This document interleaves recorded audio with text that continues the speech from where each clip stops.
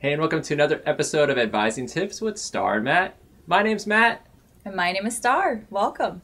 and today's episode will be about should I, or meaning you, attend your classes? Simple answer is yes. But sometimes we get the question well, my instructors don't take attendance, why should I attend class? That's a great question, Matt. So, whether you are paying out of pocket and or receiving financial aid, there's money that's going into your education, the investment of your edu- education.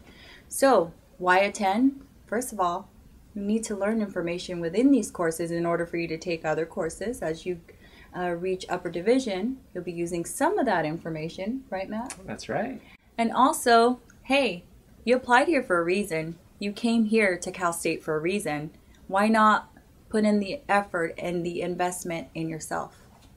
And even if you miss class, sometimes you might think that the instructor is going to reach out to you and uh, send you the information or the notes that you missed from being in class. Well, the instructor probably isn't going to do that because they expect you to be there to gain that information. So they're going to continue on with that class whether you're there or not. And the other thing, too, sometimes we might think, well, if my friend's in the class, I'll just get my notes from them.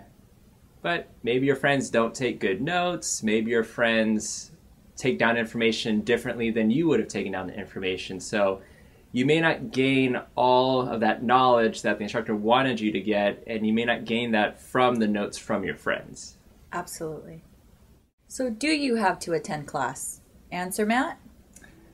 Answer is no, you don't if your instructor doesn't make it a requirement, but definitely check your syllabus to make sure, see what the attendance policy is. But even if your instructor doesn't make it a requirement, both of us still say that you should attend your classes. So, Matt, if I don't go, let's say I go every other day that class is scheduled, do you think I'd pass the quizzes or the exams final? Probably not. You might do uh, not too well on those.